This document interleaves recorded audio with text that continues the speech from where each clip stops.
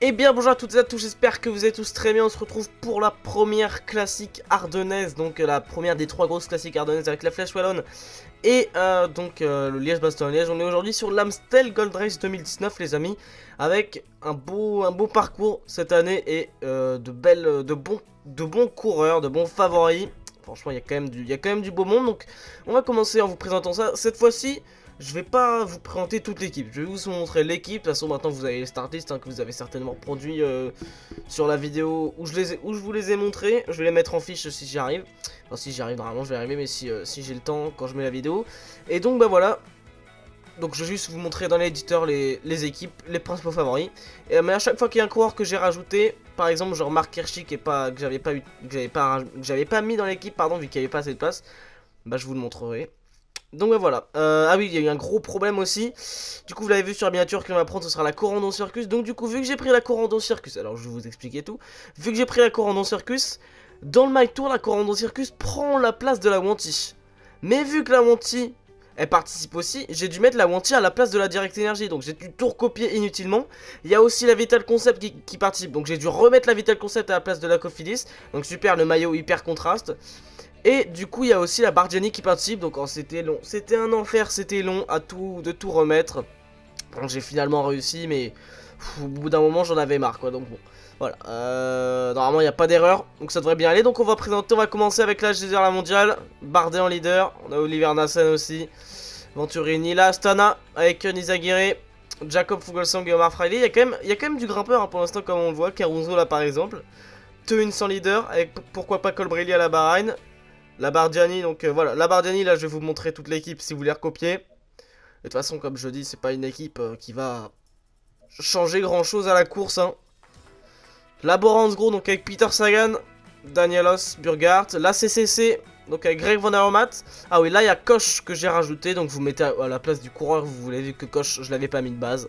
Il est là du coup. Bon voilà, vous avez copié les notes. Euh, du coup, la Corono Circus, c'est l'équipe avec laquelle on va jouer. Donc bah, je vais vous la montrer tout à l'heure, écoutez. Là, De Seninck avec Philippe, Gilbert, Vacoch, De Venance. Il y a quand même une belle équipe, très belle équipe à De Seninck. Donc on va avoir, on va de l'adversité. Là, EF Education First avec comme leader Michael Woods et Alberto Bettiol. Attention, ça peut être un duo... Euh, ça peut être un duo incroyable. Hein. Woods et Bettiol, je pense que ça peut faire mal. On va bien voir ça en vrai. La compa MFDJ donc avec Madois, Mollard, Ludvigson. Qui ne vient pas avec une équipe... Euh, énorme. Madoua, attention, hein, le jeune Madoua. La Lotus donc la c'est la seule équipe quand je tourne la vidéo qui n'a pas encore officialisé son équipe. Donc il y a peut-être des... C'est peut-être faux. Par exemple, en plus, il y a Wellens, il y a Binoun, donc il y a quand même des coureurs qui peuvent changer la donne. Et du coup, ça se trouve, j'ai mis Wellens alors qu'il n'y est pas. Mais j'ai pris les start list euh, non officiels. J'ai pris, il restait que la start list de la Lotus qui n'était pas encore officielle. Donc, j'ai mis celle qui était a priori euh, prévisible, provisoire. Donc j'ai mis Wellens, mais ça se trouve il participera pas. Donc Wellens va peut-être changer des choses dans le jeu, puisqu'il a quand même à 80 ballons. Donc bah voilà, en tout cas pour la, pour la j'espère que ça, ça sera cette équipe-là en vrai, on va bien voir. Là, Milchenton Scott avec euh, donc euh, Matteo Trentin, encore Daryl Albazini. La Movie Star Team avec, euh, avec Alejandro Alverde, Carlos Betancourt, Carlos Barbero. La Dimension d'attaque vient avec donc l'ancien vainqueur l'année dernière, Michael Valgren. Ça peut faire très mal aussi, ça Valgren, Kreuziger. Gasparotto qui avait fait deuxième l'an dernier, il me semble, deuxième ou troisième, deuxième. Donc attention, là il y a du très lourd. Hein. Dimension Data, Valgren, Gasparotto, deux sur le podium l'an dernier. Kreuziger qui a quand même un max d'expérience et Boissonhagen qui peut faire mal aussi. La Dimension Data sera à surveiller pour une fois hein, parce qu'il joue pas toujours les premiers rôles. La Jumbo Visma avec Wood donc Floris de Tir et Jos Van Emden. La Katusha Alpecin avec Nathanas, Enrico Battaglini et euh, Guerrero. Attention à Nathanas, hein. attention à Nathanas. Là, Sky avec Gatkowski, Pulse, à mon avis, on devrait les voir au premier plan, ces deux coureurs-là. La Sunweb qui vient avec Michael Matthews. Attention, Michael Matthews qui a fait un beau truc sur la flèche Brabanson aussi avec donc. Euh, je l'ai regardé. Pour une fois que je regarde les petites courses, je, l'ai regardé le, final donc avec euh, Alain Philippe, euh, Vanderpool, Wellens donc et Michael Matthews. Matthews qui aurait gagné. Hein, ceux qui l'ont regardé, Matthews, s'il se faisait pas bloquer, il, il allait chercher la victoire. Mais c'est Vanderpool du coup qui a gagné devant Alain Philippe. Et Mathieu, je crois qu'il fait quatrième et Wellens euh, troisième, ou c'est l'inverse peut-être, ça, doit être l'inverse. En tout cas, voilà pour l'équipe de la Sunweb. Du coup, Mark Hirschi, voilà, que j'ai rajouté. Bon, c'est pas, c'est pas grave hein, si, vous, si vous le mettez pas de toute façon. Euh, la Trek Segafredo, du coup, avec Boke Molema, Edward Toins, Fabio Fellini, Une équipe assez intéressante. Monema aussi sera surveillé. Là, UE... Euh... Attendez, pardon. J'ai pas dû la faire parce que là, euh, ça m'étonnerait que ce soit cette équipe-là. Voilà, là c'est mieux. Là c'est mieux, donc avec Sergio Henao, Diego Lissi, Rui Costa. On a une belle équipe quand même à la UE, attention aussi. Ravadi, donc Pogacar, euh, il, est pas dans, il est pas dans les que j'ai fait pour les équipes de 2019, mais je l'ai mis à la place de Polanc. Voilà, je vais pas me saouler à lui faire exprès un profil juste pour l'Amstel. Voilà, je l'ai mis à la place de Polanc, il changera pas grand chose dans la course. Donc je me suis pas, je me suis pas cassé la tête. Là, donc euh, la Vital Concept avec Brian Cocard. Donc en fait, c'est la Vital Concept qui est là, hein, mais j'ai recopié les notes ici, donc c'est un peu chiant. J'ai perdu, je perds du temps au final pour rien. Donc là, la Vital Concept, donc avec Brian Cocard, je vous passe les notes pour ceux qui les auraient pas, vu que c'est la, la, Vital Concept quand même. Et meilleur, donc pas une équipe incroyable, ça peut faire quelque chose si jamais il y, a une échappée. Là où anti Gobert, donc avec, euh, bah pardon, là où anti Gobert, donc avec Pasqualon, Martin, Meurice, donc qui vient avec une belle équipe quand même. Pourquoi pas? Pourquoi pas, pourquoi pas? Donc bah voilà, on a fini ce petit tour. Et donc on va partir course, solo, nouvelle partie, personnalisée évidemment, on va se mettre en légende. Et le choix de l'étape a été dur. Le choix de l'étape a été dur, mais finalement j'ai choisi euh, l'étape, donc je vais vous montrer. Et donc j'ai choisi Blanak Je sais qu'il y en a qui vont pas être d'accord, vous allez quasiment être tous contre moi, mais... Bon, c'est clair qu'il y aura beaucoup plus de montées dans le parcours. Mais pour moi, c'est celle qui ressemble le plus. En fait, il y a donc voilà, là on ne voit pas trop sur le profil, mais il y a une petite montée sur le final, sur les tags de, de Blagnac Rodé, pardon, alors qu'en vrai c'est plein, les, les 7 derniers kilomètres sont plats. Le problème, c'est que euh, j'aurais bien voulu prendre Lorient Quimper. C'est pareil, ça monte, le final est montant. Mais Lorient Quimper, je vais le garder pour Liège-Bastogne-Liège. Je vais le garder pour Liège-Bastogne-Liège parce que j'ai pas envie de prendre deux fois la même étape ce serait un peu nul. Donc je garde pour Liège-Bastogne-Liège. Et pour moi, c'était la seule qui correspondait bien. Il y avait peut-être, donc je vais vous remontrer, euh, on peut faire ça. Il y avait peut-être l'étape de, de Saint-Vallier, mais c'est pas, ça monte pas assez le final quand même, ça s'enchaîne pas assez. Et le final est vraiment hyper plat et c'est classé sprint. Quand on fait sur le Dauphiné euh, en pro team, c'est toujours des sprinters qui s'imposent, donc à mon avis, il n'y aura pas une hyper grosse bataille. Et là, c'est pareil. Euh, la palition, c'est pas ça monte pas assez dans le final. La bien ça va être un enchaînement de côtes. Et je vais essayer de tout faire exploser. Franchement je vais essayer de tout faire exploser pour pas qu'on ait une course trop chiante. Après je vais, je vais prendre la en circuit hein, donc ça va pas être facile donc, euh, on est parti pour cette étape entre Banana et Rodez. Ça pardon, ça va pas être facile. On risque pas de gagner cette fois-ci encore avec, euh, avec Van. Je sais pas pourquoi je me casse la tête toujours à prendre, des mecs qui sont pas forcément favoris. Je sais pas, pourquoi je, vais prendre Sagan à chaque fois que je fais une course. Et puis au moins là, on sera clair. On va du coup Coronon Circus, c'est parti. Van du coup, voilà les notes que, je lui ai. Donc 76 vallons et 82 accélération quand même. Donc vous voyez un petit peu, c'est sympa. Il y a moyen de faire quelque chose, je pense, tout de même. Là, euh, deux Volder, donc qui sera notre équipier Roy Jans, Dries de Bont, Jasper Janssen, je crois, euh, Jonas Rickert et euh, Joey Rist alerte, quelque chose comme ça. Et là donc le X, pour ceux qui connaissent pas le X, c'est simplement parce qu'en vrai il y a 7 coureurs et dans le jeu il y a 8 coureurs. Donc je mets un coureur a 50 partout, comme ça il a aucune influence sur la course. Et ça fait comme si on était 7, voilà. Donc allez, continuez du coup, ça va pas être facile. Hein. Cet Amstel Gold Race ça va pas être facile, mais je prends des risques, on prend des risques évidemment. Si on fait toutes les courses avec euh, les ultra favoris, ça va être nul. C'est nul, il y a, pas d'intérêt. Donc euh, je préfère qu'on prenne les risques comme ça, on s'amuse et tout. Et puis il y, a un petit challenge. Donc voilà, les favoris. Alejandro Alverde, Julien Alaphilippe et Miral Gladkowski. C'est pas la plus importante des trois, clairement je pense que parmi les trois coureurs favoris, là, il, préférerait largement remporter Liège-Bastogne-Liège ou la Flèche Wallonne, mais c'est quand même une classique importante dans le calendrier World Tour.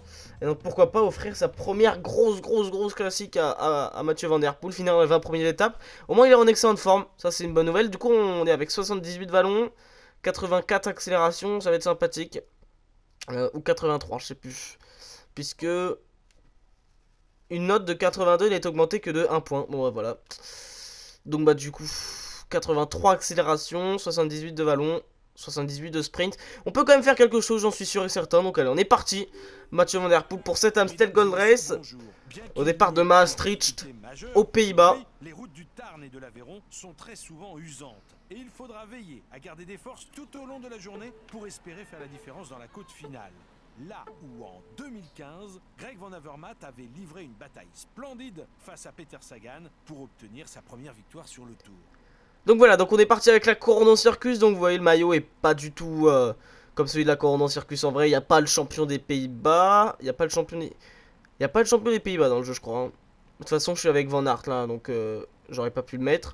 Mais bon, du coup, pour le calendrier de, cette, euh, de ces classiques ardennaises, là, aujourd'hui, on a la Total Gold Race. Mercredi, donc, je vous proposerai euh, la Flèche Wallonne sur la chaîne. Écoute, on va peut-être envoyer quelqu'un dans l'échappée. allez, deux bondes. Fais-toi plaisir, mon petit gars. Tu nous serviras à rien dans le final, de toute façon, va être méchant, donc fais-toi plaisir. Et donc, du coup, mercredi, je vous ferai... Allez, allez, voilà, suis. Hop, c'est parfait. S'il peut partir dans l'échappée, c'est cool. Toujours avoir un mec dans l'échappée, ça, ça peut être toujours cool. Allez, du coup, pour la Cofidis, non, pour la Vital Concept, évidemment, Jimmy Turgis. Simone Petilli pour la UAE. Alessandro Tonelli pour la Bardiani. Leonard Kamna pour la Sunweb. Driss de Bond pour la Corono Circus. Et William Baudet pour la Groupama FDJ. Ça a l'air d'être parti ou ça contre encore. Hein. Beaucoup de contre là, ou beaucoup trop de contre, ça laissera jamais partir. Ça laissera jamais partir. En tout cas, du coup, qu'est-ce que je voulais dire euh, Ah bah je me souviens plus de ce que je voulais dire. Ah oui, voilà, mercredi, donc il y aura la Flèche Wallonne, les amis. Et je pense qu'on va se la faire avec Alaphilippe. J'ai envie de j'ai envie de remporter la, Flèche Wallonne avec Alaphilippe. En tout cas, ce qui est sûr, c'est qu'on la fera pas avec Valverde.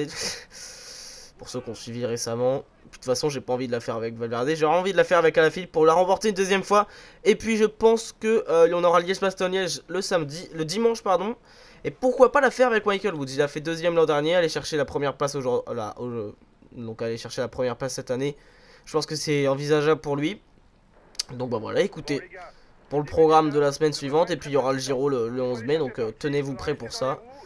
Ça va être parti pour 3 semaines. Donc bah voilà, là on est sur l'Amstel Relays, on va se concentrer. Puis on se retrouve, euh, on se retrouve dès qu'il y a un moment important dans la course, écoutez. 114 km de l'arrivée, donc les échappés n'ont toujours pas été rattrapés. C'est la, la Movistar qui roule à l'avant, Valverde qui veut faire rouler, qui peut tenter de faire craquer certains coureurs certainement. Donc bah, en tout cas c'est parti sur, euh, euh, de grandes bases cette étape. Donc toujours pas d'échappée, hein. l'échappée se fait rattraper il y a quelques instants, il était 11. Donc bah écoutez, je vais dire à de il a perdu. Donc quoi dire à Janssens, comme ça dès qu'il y, a une attaque qui suivra. Donc allez. 100 km de l'arrivée, une seconde échappée est en train de se former avec Alessandro Tonelli de la Bardiani et donc Janssen qui suit. Voilà, ils sont deux à être partis, c'est parfait. Donc bah du coup, euh, c'est pas beaucoup d'eux, hein, c'est sûr, pour aller au bout. Bon, au moins il est dans l'échappée. Voilà, ça c'est déjà, déjà ça fait. Alors il y a la première des trois grosses, des quatre grosses côtes, même puisqu'on peut compter celle de l'arrivée de la journée, et ça roule. Au moins ça roule, on est, c'est pas, on n'est pas sur une course euh, où il se passe rien, donc c'est déjà ça. Donc ils sont deux à l'avant, mais ils vont rapidement se faire attraper. Ils auront fait un petit périple, au moins ils auront animé la course.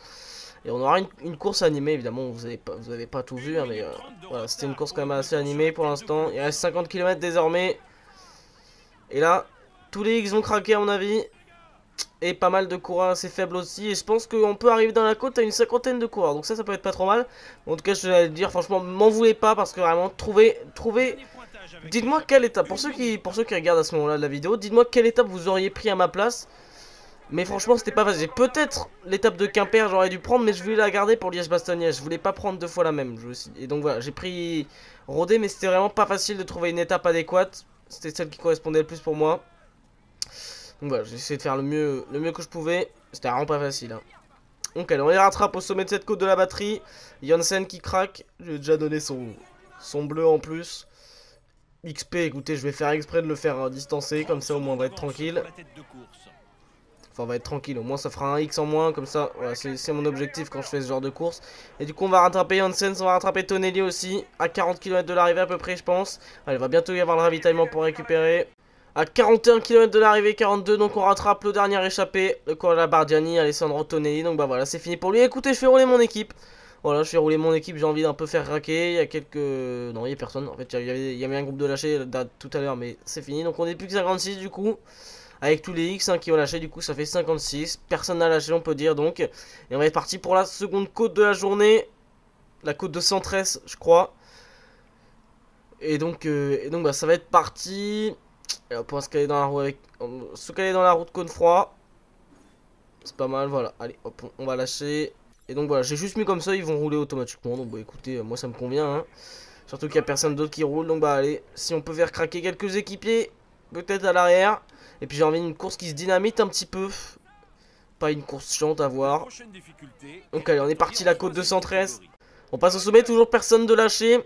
Donc alors on va se retrouver directement à la dernière côte classée de la journée. Et là en général il y a des attaques dans cette côte, donc il va falloir se tenir prêt avec Van Der Poel. Pourquoi pas une étape qui se dynamite. Ah, le, premier qui, le premier qui craque, Strakov donc, de la, de la Katusha. Il reste donc 7 secondes dans 7 km, pardon, 7 secondes, oui, c'est 16 secondes, oui, ça aurait été un peu court. 16 km dans cette étape, dans cette euh, Amstel Gold Race donc, l'étape de, de Rodé sur le Tour de France. Donc euh, voilà, j'espère qu'en vrai il y aura une course un peu plus passionnante, que ça se décontera un peu plus tôt parce que là évidemment, elle est pas ouf l'étape on va pas se mentir. Donc allez du coup, euh, Jans qui va venir me protéger, j'ai mis mes coureurs à rouler sinon, voilà tout ça sent, je vais, je vais donner à Jans, écoutez comme ça, ce sera fait.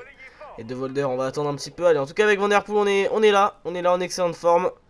J'espère qu'on va réussir à lui faire remporter son, premier, sa première grosse classique à Vanderpool. Il en a quand même des pas mal pour l'instant, hein, mais sur la route, c'est vraiment sa première saison. Et je pense qu'en vrai, il peut faire quelque chose aussi à voir, à voir évidemment. Donc allez, là-bas, là, la Jetzer qui roule pour Romain Bardet, la Sky pour Gwiatkowski, la Bora pour Sagan, la De Senin, de pour Alaphilippe, et la, la Movistar pour Valverde évidemment. Tous les favoris sont à l'avant. Allez, attention, parce que là, ça commence à rouler assez fort là. Là, ça commence à rouler assez fort. Vous voyez, il y a quand même des coureurs hein, qui se font lâcher au moins. Il y en a quelques-uns pour l'instant. Par contre, Chance, il nous est pas très bénéfique. Hein. Parce qu'il est, il est dans le dur. Donc, du coup, euh, j'essaie de garder sa roue. Mais ça me, ça, me, ça me fait plus de tort que de bien. Allez, attention. Là, on va, on avoir du rouge à donner, effectivement. Hop. Voilà. Allez, plus que 139 dans, le, dans ce groupe. Je vais arrêter. Je vais demander à Jans d'arrêter. Je vais leur demander de rouler plutôt. Parce que Jans, il nous est pas trop utile, comme vous le voyez.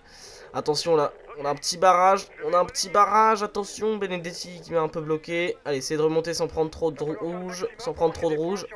Allez, on est parfait, on est parfait.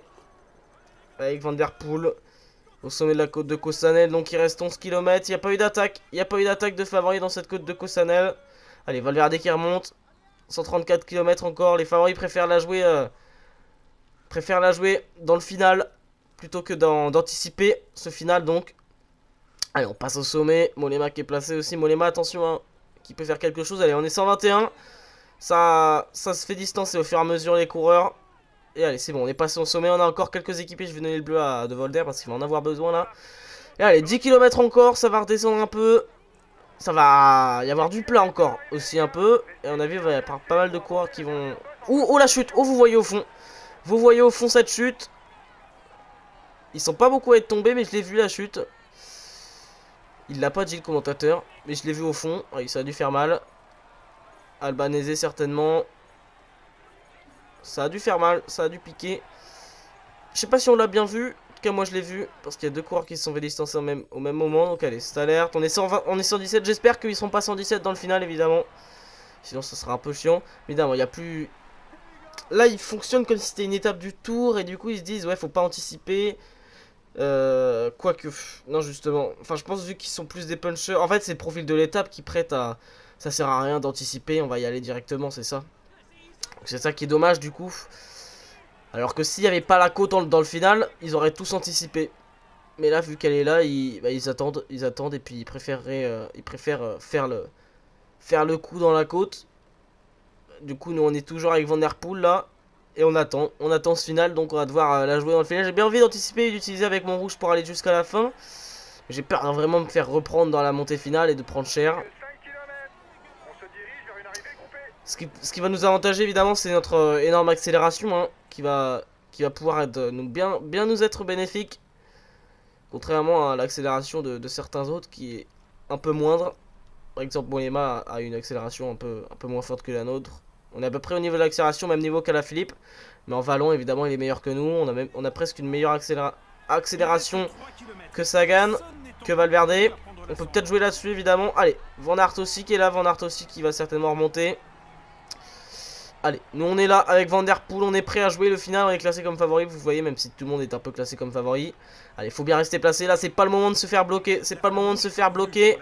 On entre dans, je sais plus comment il s'appelle la, ville d'arrivée, en tout cas il y a deux, il y a deux, il y a deux, il y a deux mots. Allez, c'est parti, c'est parti, faut bien prendre les roues, Barbero qui emmène, c'est parti, attention, on est dans les roues, on se fait un peu bloquer, j'espère que je vais pas me faire trop bloquer dans le final. on n'est pas trop mal, on n'est pas trop mal, on n'est pas trop mal. On n'est pas trop mal, on est pas mal du tout. On est pas mal du tout. On est à un tour de la dixième position. Attention à l'avant. Duel entre Sagan et Valverde. On va essayer de viser le top 10 au moins. C'est pas trop mal. Ok, ok. On va faire septième. Je suis assez content. Je pensais faire pire. J'ai pas vu qui s'imposait en tout cas. Mais c'était un final assez, assez tendu. Tout le monde s'est un peu bloqué, il n'y a personne qui a célébré parce que le final a été assez serré. J'ai pas vu qui s'imposait entre Sagan et, Valverde, en tout cas. On va voir ça tout de suite au classement. Mais on peut dire que c'est pas la classique la plus folle hein, qu'on aura fait. En tout cas, sur Paris-Roubaix, il y aura eu bien plus de spectacles. Ou sur le Tour des Flandres, même que sur celle-ci. Et du coup, dans ce, final pentu, c'est Sagan qui vient s'imposer juste devant Wood Van Aert.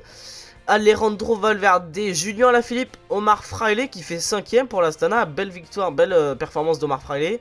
Alaphilippe 4ème du coup, Molema 6ème et nous on fait 7ème avec Vanderpool. C'est pas trop trop mal. Franchement, c'est pas trop trop mal. Ça aurait pu être pire. Je m'attendais à faire un vieux score genre euh, avant, avant la 20ème place, mais 7ème, je trouve que je m'en sors pas trop mal. Surtout qu'on était 11ème. J'ai pris un tout petit peu de rouge sur le final et puis ça nous a permis de rattraper 3-4 euh, places donc c'était cool. Bardet qui fait 8ème, Wellens 9ème. Costa 10ème, Barbero 11ème, Ulissi 12, Gorka Zaguirre 13, Vietkowski 14 et euh, Dylan Tuns 15 donc. Et donc bah voilà, je vais vous montrer un petit peu, euh, donc euh, voilà, je vais vous montrer tous les coureurs si vous cherchez quelqu'un. Comme ça, ça va nous permettre d'aller voir qui est le dernier de cette course, dans la, tous nos coureurs qui se sont fait distancer évidemment. Et donc sur cet Amstel Gold Race, on finit à 103 coureurs dans le peloton. C'est pas terrible, j'espère qu'en vrai il y aura plus de spectacles évidemment. Et donc le dernier c'est à Pesso, Alessandro Pesso, le coureur italien de la Bardiani, donc qui finit dernier. C'est dommage pour lui. Donc voilà, plein de X qui sont là, aucun hors délai. Donc du coup, le meilleur euh, jeune de la course, c'est Wood Van Aert évidemment, devant Van Der Poel, Maximilian Schachmann, Soren Krag Andersen et Matej Mohoric. Et il n'y a pas de JE évidemment. Il y a beaucoup de VI, donc vous voyez les coureurs qui euh, ne doivent pas être comptés dans le classement euh, jeune, alors qu'ils y sont par exemple comme la Bouman. Et il n'y a pas beaucoup de JE justement, des coureurs qui sont censés ne pas être comptés, euh, qui sont censés être comptés dans le maillot blanc, mais qui n'y sont pas comptés. Du coup, la meilleure équipe de cette, euh, de cette course, c'est la Astana, dans la UAE et la Movistar, et nous, évidemment, avec leur commandant Circus, vu qu'ils ont tous lâché dans le final, on est 21ème, mais c'est pas un objectif, le classement par équipe. Et donc, le combatif de la journée, c'est Alessandro Tonelli, de Bont est 3ème, et Janssen est 6ème, ah, c'est dommage. À 2 km près, Janssen y passe en tête. Pareil pour De Bon, bon, bon c'est pas grave. En tout cas, Tonelli qui aurait été le, le plus combatif de la journée. Donc bah voilà, pour cet Amstel Gold Race, les détails de, notre course euh, juste ici. C'était pas terrible, hein. C'était pas terrible. J'espère qu'on aura plus de spectacles sur la Flèche Wallonne mercredi et sur Liège-Bastogne-Liège dimanche. En tout cas, si vous avez aimé tout de même, n'hésitez pas, comme d'hab, à mettre le petit pouce bleu qui fait plaisir, l'abonnement, le partage, ça fait toujours plaisir. Et nous, on se retrouve très bientôt, certainement demain même pour une vidéo sur le mode My Tour ou peut-être mardi. En tout cas, c'est sûr qu'il y aura une vidéo prochainement. Donc allez, pouce bleu, abonnement, partage, vous connaissez. A bientôt. A plus, euh, je sais pas comment, voilà, hop.